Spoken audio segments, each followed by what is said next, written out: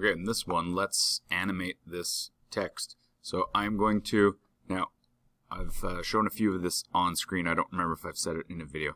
If I want to extend multiple layers, so if I go to 96, when I click on an empty frame, I could press F5. So if I press F5, this layer is now got two seconds and almost two and a half seconds of stage time.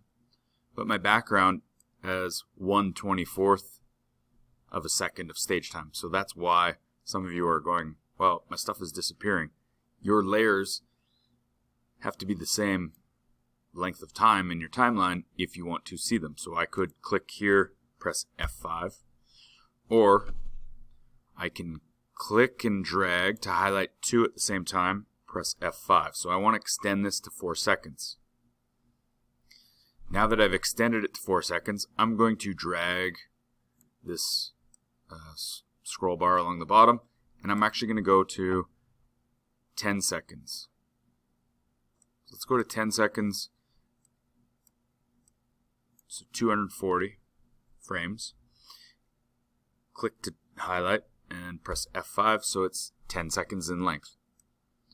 So the reason why we're going to do 10 seconds in length is we're going to just have our name fade in. So sometimes if you want to have, I'll click on our text, and there's only so much we can do with this static text. If I want to have this fade in and fade out and kind of have it on this loop, well, I need to actually make this a movie clip. I could make it a graphic as well, but for right now we'll just keep it simple. I will make this a movie clip. And I'm going to go with text. Maybe I'll put name just in case. I'll click OK. So now that it is a movie clip, I've got an option here where I could right click, create a motion tween, maybe at about two seconds. At two seconds, see, I've got my, I've got this layer, it's highlighted. But if I want to put in a keyframe, so a keyframe is a moment in time. So when I put in a keyframe, that's the way that this appears at that moment in the animation. So if I press F6, it puts in a keyframe for me. And then let's scrub ahead. We'll go to maybe 9 seconds. And my playhead is here. If I press F6, it puts in another keyframe.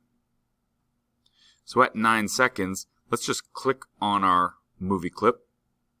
Okay, so it's a movie clip now. It, I can't change my name. I can't add anything to it. If I want to do that,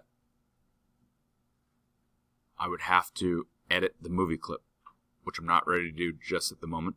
So I've selected this. I have no option to change this here. But in our properties, we've got a lot of different options. If you twirl open the filters, we can add different types of filters to this. We could have a color effect. We could make it brighten. We could make it fade out. So under color effect, let's go to alpha. So here at 9 seconds, we're going to have the color go from 100% visibility to 0. So we can see here that by the time it gets to 9, it's fading out. Now, I don't want it to fade out. It's going to fade out like really slowly. It's just going to get dimmer and dimmer and dimmer and dimmer. So instead, I'm going to go back here. I'm going to keep it at 100%. But here, I'm going to press F6. And now I'm going to change the alpha here. So now the fade out only happens between 9 seconds and 10. Okay, I'm going to go back to the beginning. I'm going to do the same thing here. So at 1 second, I'm going to press F6. It is at 100% here. at ones, uh, or one, the first frame, I'm going to select this, change the alpha to zero. So when I scrub through, it fades in. We're watching it, fades out. So I've got this keyframe now at two seconds. I don't really need anymore. If I hover over top of it, my cursor changes. So I could actually click on this specific keyframe and I could move it around.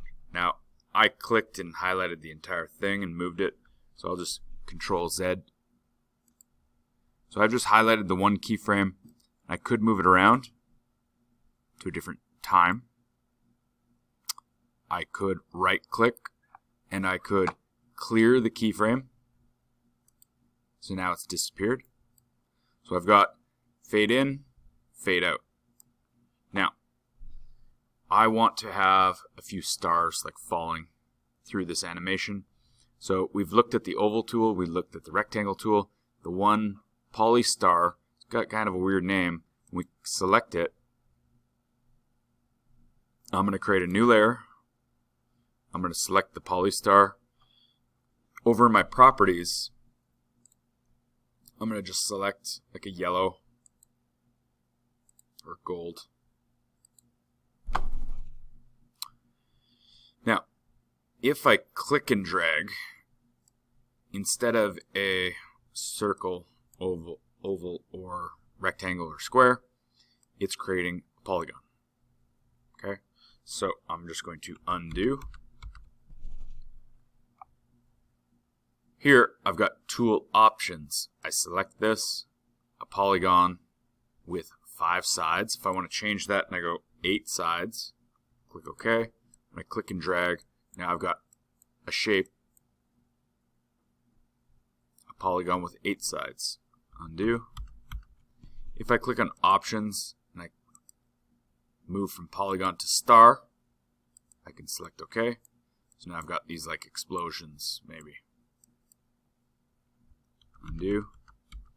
So let's select, we'll create a star with five sides and we will click and drag. Now, if I click, I can drag and then I can move the star around. So right now I'm just going to make one like perfect star. It's just straight up and down here. If I want to hold down shift, it will let me turn it like 45 degrees. So I'm just going to go with a star here. I'm going to select the previous one, hit delete. I select this star, I press F8. I'm going to call it star. Now it's a movie clip. So I've got this star and it is going to fall through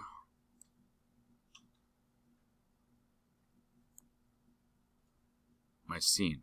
Now it's moving a little bit to the side, so I'm just going to undo. I'm going to click while holding shift, so I'm dragging it straight down. So before three seconds, this star is going to fall through. Okay, so I'm going to call this star 1.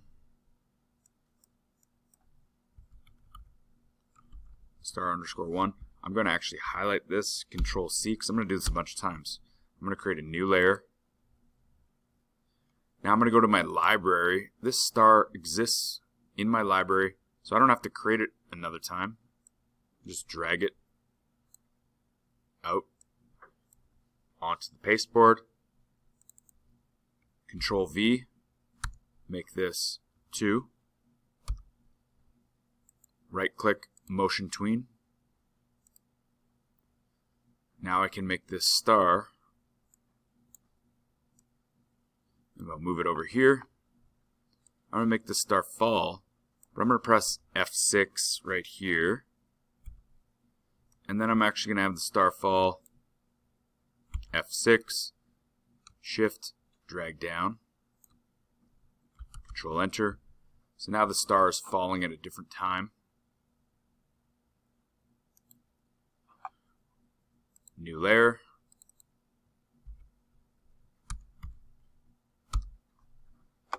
If I put all of these stars on one layer, I can't move them all separately. So I drag the star out onto the stage. What I could also do is I could go to my free transform and I can hold down shift, make the star smaller. Right click, create a motion tween. Maybe I want this star to fall, start falling here. Press F6. F6 to put in my other keyframe, shift, drag it through. Now this is happening a little bit quicker. The, the time in between these two keyframes is shorter. So we're watching this. We've got one star as that one's falling. Another one's falling in the background. It's a different size, so it almost looks like it's off in the distance.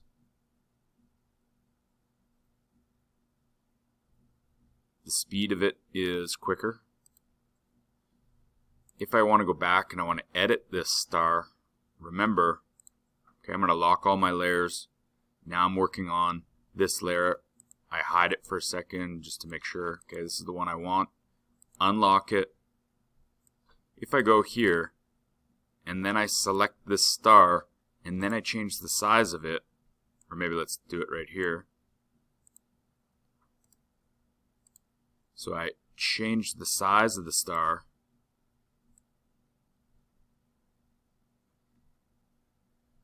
I changed it in a previous keyframe, so when it gets here,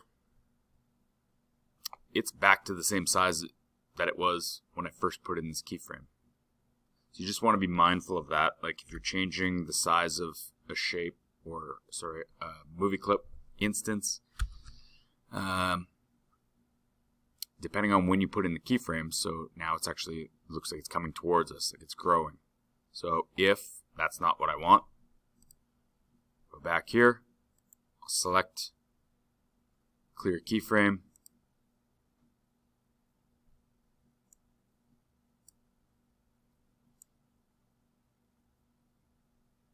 Okay, cleared all the keyframes. So here I might have the start the beginning. I changed the size of it.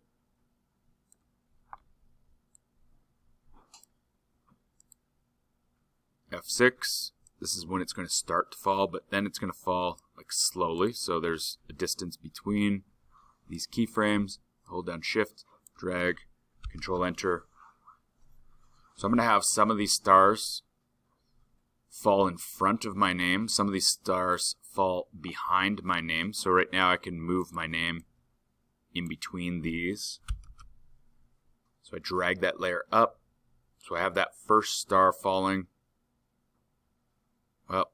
I don't really like it because this first star is falling behind my name, but the one in the distance is falling in front of it.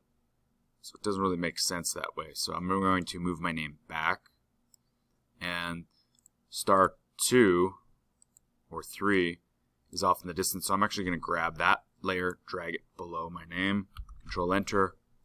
So this one's falling in front of my name. That one's falling off in the distance, so it gives my animation some depth. Um, and it's to, my name is to fade in, fade out. This is to loop. I'm going to add 15 stars. Okay, so you don't make 15. You're actually dragging out your stars. Create a new layer. Pull up the star. The size of it you can change. The time or the speed. I want you to have varying speeds varying sizes, um, just so that we get a little bit of practice doing that. Quickly, I'm going to go to uh, File. Actually, just hold on. Okay, just quickly, because I'm running out of uh, time here with this uh, recording.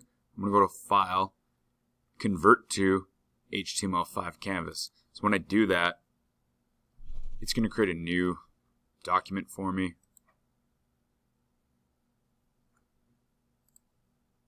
Now when I go control enter, it is actually, um, instead of just pulling up that window, it is going to bring up my browser and I've got my HTML5 animation.